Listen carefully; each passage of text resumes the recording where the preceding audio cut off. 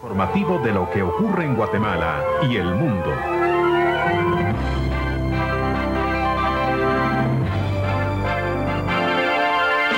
Damnificados por inundaciones obtienen ayuda del gobierno. Inician modernización aduanal en Puerto Quetzal. Concluye la primera fase de los encuentros de actualización. Con la presencia del presidente Álvaro Arzú, este día concluyó la primera fase de los encuentros de actualización que han permitido que diversos sectores de la sociedad guatemalteca participen en las discusiones sobre los temas de mayor importancia para el país.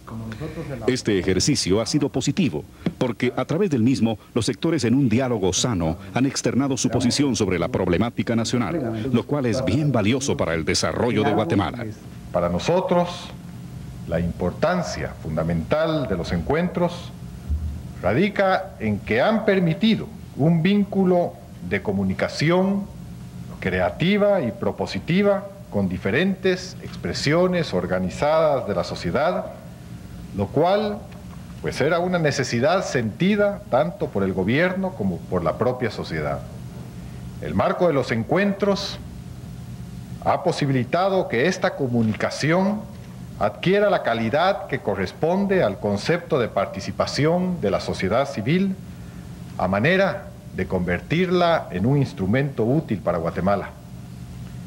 Para ello es indispensable, entre otras cosas, que el examen crítico de la situación del país y de los proyectos gubernamentales se realice sobre bases objetivas, sobre información correcta de manera que las opiniones y posiciones se adopten en base a lo que realmente ocurre o se propone y no en base a versiones sectarias y malintencionadas muchas veces, especializadas siempre en distorsionar la realidad.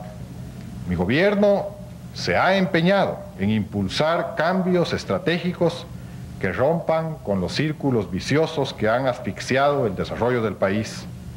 Estamos conscientes de que los cambios pues generan incertidumbres y que muchas veces es más fácil dejar las cosas como están y seguir administrando las crisis. Pero no fuimos electos para evadir problemas, sino para encararlos y los vamos a encarar.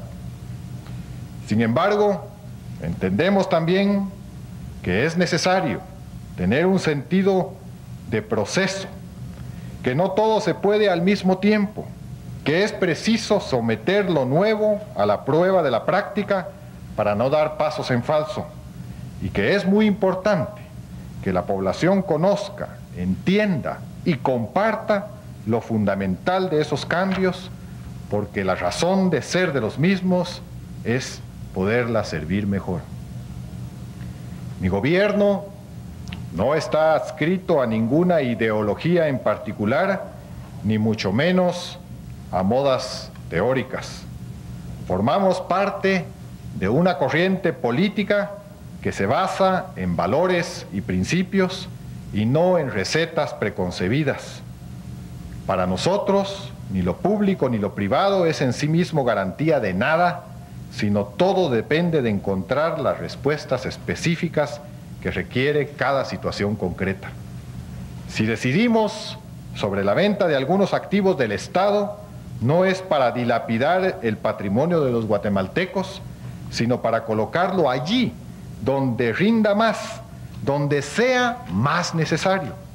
Si concesionamos determinados rubros o actividades al sector privado, no es porque nuestra línea sea privatizar, sino porque en los casos concretos y específicos consideramos que lo privado funciona mejor que lo público, cosa que tampoco es una regla.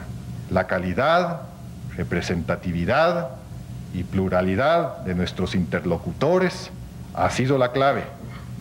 Clave como signo de la nueva época que vive Guatemala Aquí han estado congregados trabajadores, empresarios, representativos de los pueblos indígenas, cooperativas, fundaciones, ONGs, partidos y expresiones políticas, universidades, centros de investigación y análisis, la Alianza Evangélica y la comunidad judía, sindicatos y organizaciones campesinas. Todos juntos han aportado y debatido en un ejercicio que ha sentado bases de futuro.